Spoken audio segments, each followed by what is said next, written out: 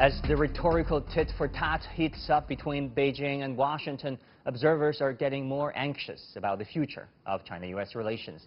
As the world grapples with COVID-19 and economic slowdown, can China and the U.S. stop their hostility? We'll be talking to Mr. Jia Qingguo, former Dean of School of International Studies at Peking University. And in the second half of our program, we'll be joined by Professor John Mearsheimer from University of Chicago. That is our topic. This is Dialogue. I'm Wang Guan.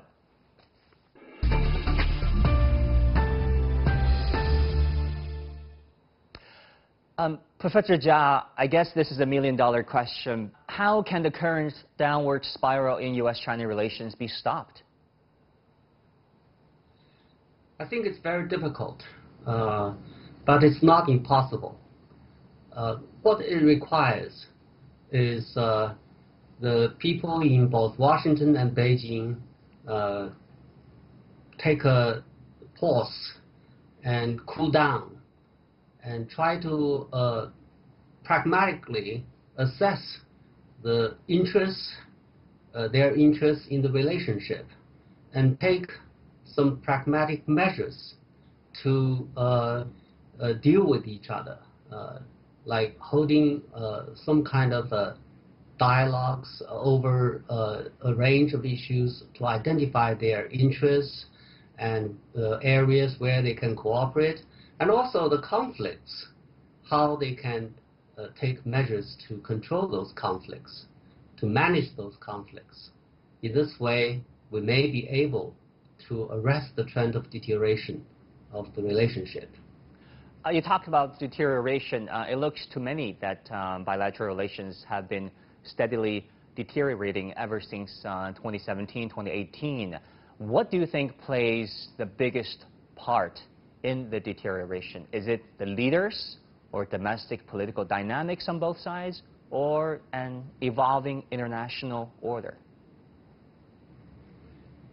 I think a lot of factors have contributed to this. First of all, I think the rise of China has exacerbated uh, a lot of pre-existing differences and tensions. Uh, what used to be uh, a, a, minor uh, thing now uh, is becoming a big issue. Uh, like ideology, ideological difference used to be manageable. now, you know, it's regarded as a big threat, especially by on the part of the U.S. Also, the divergent political developments uh, have uh, led to a lot of uh, frustration, especially on the part of the U.S. the the uh, the liberals. Uh, they think that China is becoming a different country. And uh, the previous policy of engagement has failed. So it's uh, time to use a different tactic to deal with China, that is to be tough on China. And of course, the Trump factor is very important. Uh, uh, he has been very uncertain in his beha behavior, in his policy, and also, some people he hire uh, are ideologically uh, very uh, extreme, and and also they they don't like China. Uh, so they have been advocating some very uh, tough and also Cold War-like policies. And of course, the age of internet has also further contributed to this. A lot of uh, extreme people on both sides on the internet. They interact with, with each other, creating a, a terrible atmosphere for, or poisonous atmosphere for the relationship. And then um, you talked about uh, anti-China sentiment. Um, you know, when we think about um, visa restrictions targeting Chinese students recently, uh, when you think about, um, you know, Marco Rubio, Ted Cruz, uh, a group of uh, U.S. congressmen labeling Chinese educational programs as influence campaigns, um, and also the media coverage. Do you think that is mounting to a new red scare of the 21st century in Washington? Well, it's becoming more and more like one. Uh, it's like uh, the U.S returns to the McCarthy period on China. Uh, anybody who is uh, who who tries to be more pragmatic and realistic in uh, in, in policy uh, suggestions will be condemned as pro-China or panda hugger.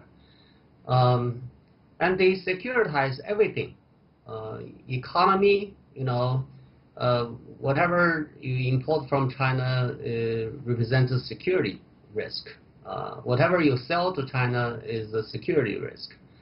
And people-to-people -people exchange is also regarded in terms of security. Uh, you know, the Chinese scholars and students are likely spies uh, to these people. Uh, so they fan up fear and uh, hostility between Chinese people and the American people. Uh, I think this is a, a, a terrible thing uh, that's happening. hopefully, they, their you know, extreme voices will be stopped. Well, Professor Jia, from Washington's perspective, um, China is also changing. China has been changing. Um, they talked about Beijing's domestic programs, domestic policies as increasingly um, strict and less liberal, um, you know, according to them, and they perceive China's foreign policy as increasingly aggressive, and that those are the reasons cited by the hardliners in Washington uh, for a more, uh, you know, aggressive uh, you know, containment policy against China. Are Washington's concerns legitimate at all? Well, China certainly uh, has been developing uh, not in the direction of what the liberals in the U.S. had hoped. Uh, that, to some extent, explains why they, they have been disappointed. Uh, but China has its own uh, issue to, to tackle with. China has its own way to deal with things. Um, they cannot be the same. Uh, so I think uh, Americans have to be more uh, tolerant, uh, more pragmatic uh, in dealing with uh, different practices. China has its own situations. They are not the same kind of the U.S., so they cannot adopt the U.S. Uh, system. Uh, but of course, China can do better. Uh, and uh, also, China's external behavior, uh, I think mostly uh, it hasn't changed that much except the style. for example, on the South China Sea, China has not claimed new new territories or territorial waters. Uh, China's claims there have been there all the time uh, since the 50s. Uh, so uh, China's claims have not changed. But then in recent years, China has become more capable.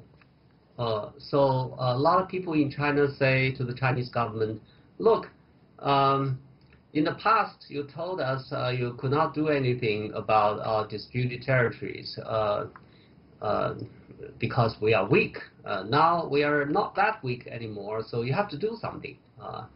Uh, so China, Chinese government has been more proactive in defending what Chinese uh, people believe their legitimate rights. Um, but but this is interpreted by people in Washington as you know uh, China's uh, uh, part of China's grand strategy of territorial expansion.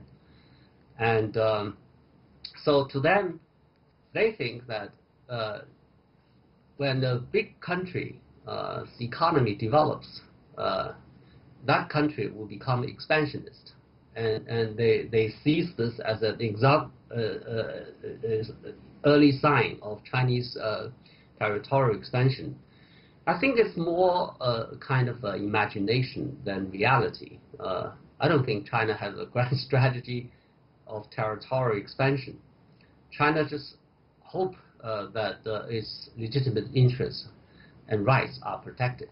Right. Many call this uh, mirror imaging. Uh, you're projecting your own your own fears and thoughts onto your, uh, your next uh, closest rival. let's talk about Taiwan, Professor Jia.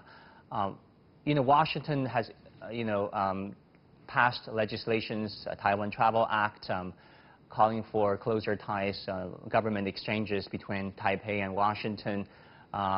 You know, U.S. military has been sending their aircraft carriers through the Taiwan Strait at the frequency of once a month, and it used to be once a year.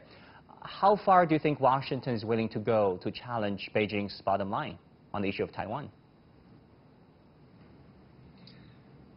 That's a very uh, dynamic situation. Uh, I think Washington, uh, especially the Congress, uh, is now in a sort of emotional mood. Uh, they, uh, if there is a consensus, you know, they, this is a very politically, you know, diverse uh, Congress. Uh, you have uh, all kinds of different views.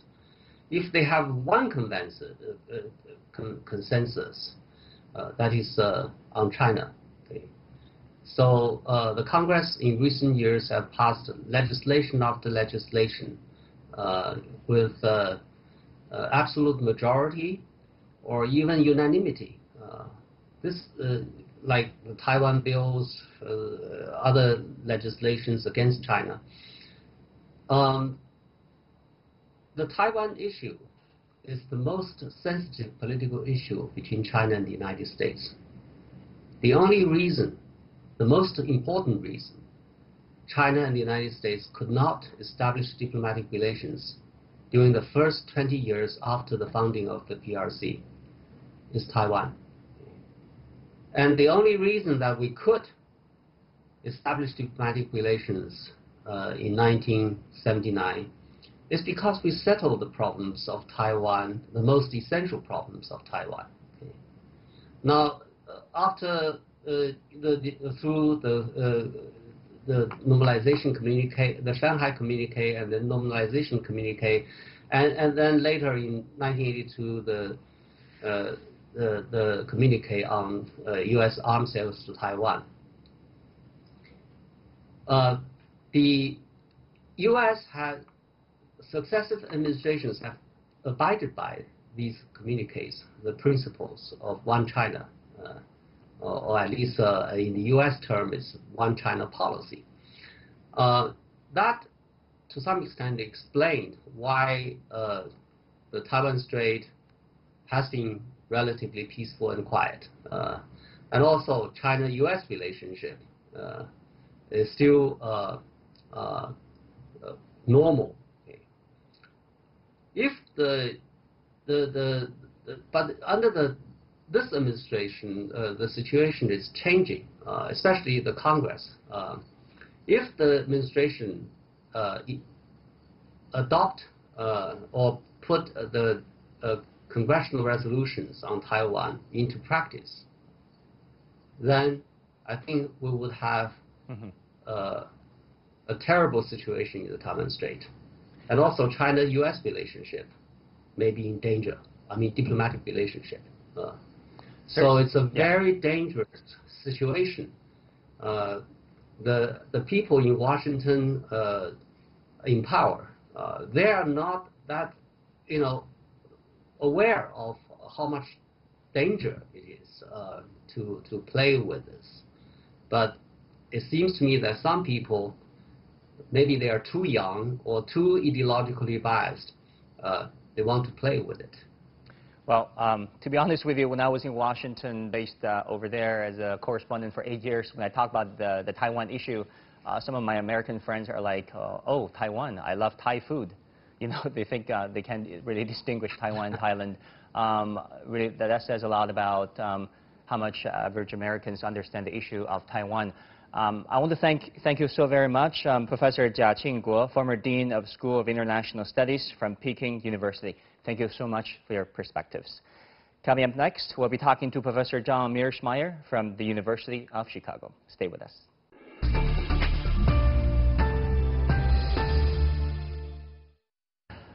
Professor Mearsheimer, um, many are wondering um, to what extent, to what point will U.S.-China relationship deteriorate? Will there be a all-out confrontation, for example?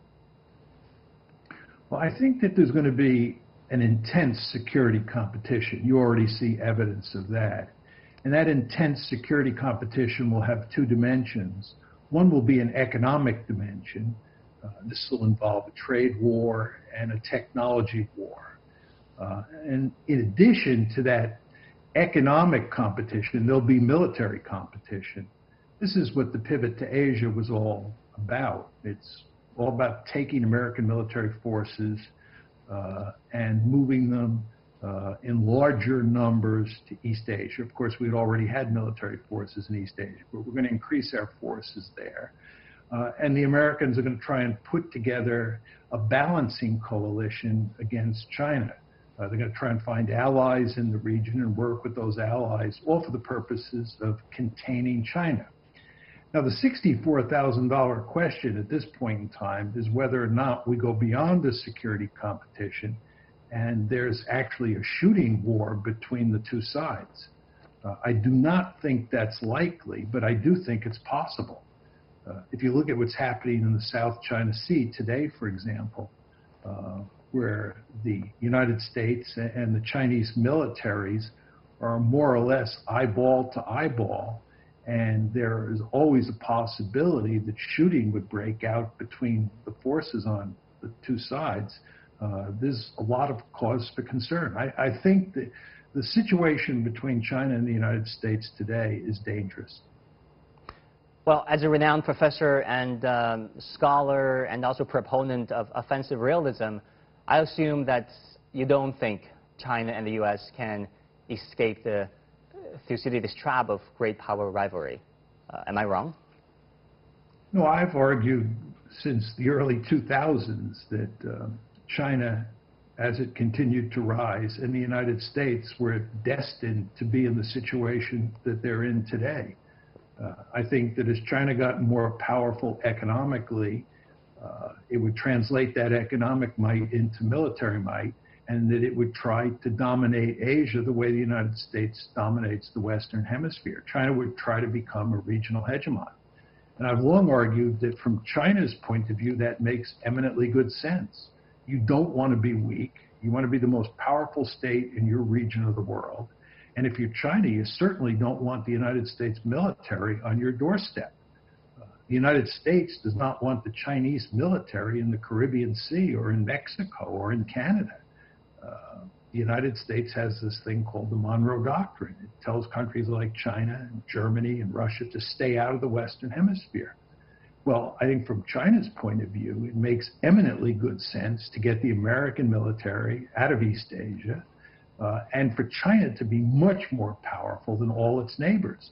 Surely all the Chinese remember what happened when China was weak. Uh, the end result is what you call the century of national humiliation. You never want to let that happen again. You want to be really powerful. So you'll try and dominate Asia. And I don't blame Chinese leaders and the Chinese people for wanting to dominate Asia. But at the same time, you have to understand that from a strategic point of view, the United States has deep-seated interest in making sure that China does not dominate Asia. But do you think China has ambition or aspiration to dominate, let's say, Eurasia? Um, you know, you heard about these accusations of China practicing neocolonialism in Africa and nowadays even uh, in South America. You know, those accusations come from namely uh, Secretary of State Pompeo and many U.S. politicians. No, I don't think that China is bent on uh, neocolonialism in Africa or uh, or it's bent on dominating Europe. It can't dominate Europe. Europe is too far away. I'm talking Eurasia and South America. Sorry. Uh, even South America. Uh, the Chinese would be foolish in the extreme to try to dominate South America. The United States would definitely contest them there. But that's the accusation uh, of many Washington politicians. Well, they can make those accusations, but they're foolish accusations. Washington politicians often make foolish accusations. What China is going to try to do is number one, dominate Asia. And then number two, it's going to develop significant power projection capability so it can protect its interests in places like the Persian Gulf and in Africa but it's not going to dominate the Persian Gulf or dominate Africa. It's just going to have a lot of military force that can be used in those regions, again, to protect uh, China's interests. uh, you talk about the potential military clash in the South China Sea, um, but in the book Conventional Deterrence, you said deterrence is likely to work when the potential attacker believes the attack will be costly and unlikely to be successful. Uh, don't you think that's exactly the case with China? Uh, think about China's nuclear and ballistic missile capabilities. Do you think the U.S. Uh, is that willing to engage in a military conflict with China? Well, I think that you're right, that it's hard to see either the Chinese or the Americans winning a quick and decisive military victory in the South China Sea or over Taiwan or in the East China Sea at this particular point in time. Uh, I think that's the case. And as I argued in conventional deterrence, if a state does not think it can win a quick and decisive victory, uh, it's not likely to attack. The problem is it's easy to imagine a small scale crisis breaking out in the South China Sea or a crisis breaking out over Taiwan that then escalates. Uh, there'll be limits to how much it can escalate because of the presence of nuclear weapons on both sides. But I would not be surprised, again, I don't think it's likely, but I would not be surprised if, for example, uh, some American naval ships and some Chinese naval ships ended up shooting at each other in the South China Sea, and that that began to escalate. Now, one could argue that it won't escalate too far because both sides will realize that they can't win, at least at this point in time.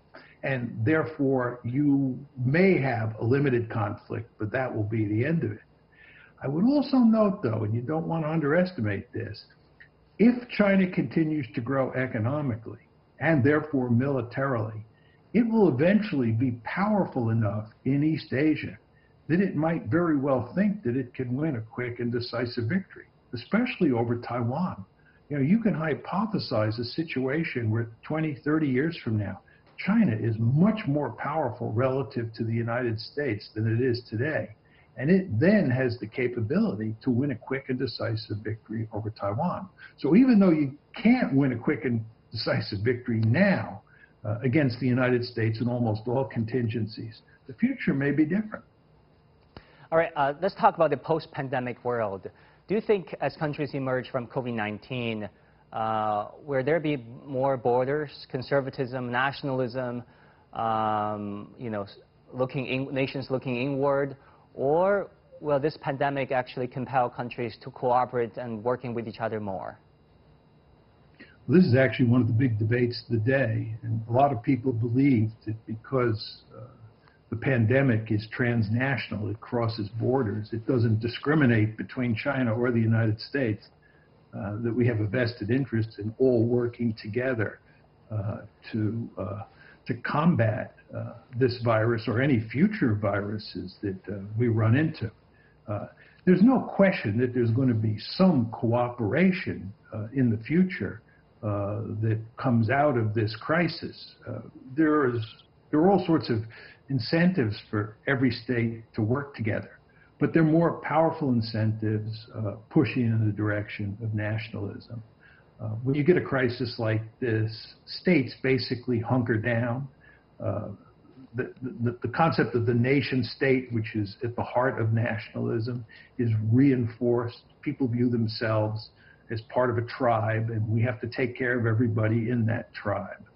Uh, so I think nationalism, which was picking up steam, it was becoming an increasingly powerful force uh, in the West, especially uh, before uh, COVID-19 is now uh, likely to become an even more powerful force. Again, this is not to say you won't have any cooperation, but I think that cooperation will be dwarfed in very important ways uh, by the growth of nationalism, which means an influence on things like borders, sovereignty, and so forth and so on. And then, how would you characterize President Donald Trump's foreign policy? Uh, is it principled realism, as some members of the cabinet uh, described it? Well, I, I, would say there's nothing principled about President Trump's foreign policy. Uh, I think liberal hegemony, which was the foreign policy that we pursued, we meaning the Americans pursued during the Cold War, uh, was based on principles. Uh, it was a failed policy, but nevertheless based on principles. Uh, I think that the Trump administration's foreign policy uh, is much different. Uh, what's happened with President Trump is, is that great power politics has come back into play. You want to remember that during the Clinton administration, the George W. Bush administration, and the Obama administration, the United States was the unipole. We operated in a unipolar system. This was a time when relations between the United States and China were very good because during the unipolar moment, China was not a challenge to the United States. But by the time President Trump took office in January of 2017, the world had effectively stopped being unipolar and it was multipolar. And it was multipolar because China had risen to the point where it was clearly a great power. And Russia, under Putin, Vladimir Putin, had come back from the dead. And Russia was now once again a great power. So we transitioned from a unipolar to a multipolar world. This is roughly around 2016, 2017. And this had nothing to do with President Trump. It happened independent of him. But the fact is that he recognized, and anybody else who was sitting in the White House would have recognized, that the United States now has to concentrate on thinking about how to deal with those two other great powers in the system because we're not in unipolarity. You have to think about how to deal with China and how to deal with Russia. And of course, once you start thinking along those lines, you begin to drift into a realist world. And this is what you see happening with President Trump. He's interested in containing Russia, and he's interested in simultaneously containing China. Uh, one final question. We have about one minute left, Professor. Um, do you think COVID-19 will change globalization as we know it? No, I don't think it'll have much effect on globalization. As I said before, I think it'll reinforce nationalism. But I think globalization as we knew it uh, in the 1990s and in the early 2000s is gone. It, it's not coming back. Now, this is terrible news for the Chinese because the Chinese love globalization. You love joining the WTO. You did very well in that global order that existed uh, during the unipolar moment. Uh, but that moment is gone. And President Trump, you want to remember, was elected running against globalization. President Trump argued that globalization was hurting the United States and helping not only countries like China, but our close allies like Germany, South Korea, and Japan at our expense. And whether you agree with him or not, he got elected. And he has acted as if globalization uh, is an enemy of the United States. So there's no evidence that uh, we're going back uh, to the liberal international order uh, that existed in the unipolar moment. Professor John Mearsheimer, Professor of Political Science at University of Chicago, thank you so much for your insight. It was an honor to have you with us. And that will do it for this edition of Dialogue. I want to thank our viewers in China and around the world for tuning in. I'm Wang Guan.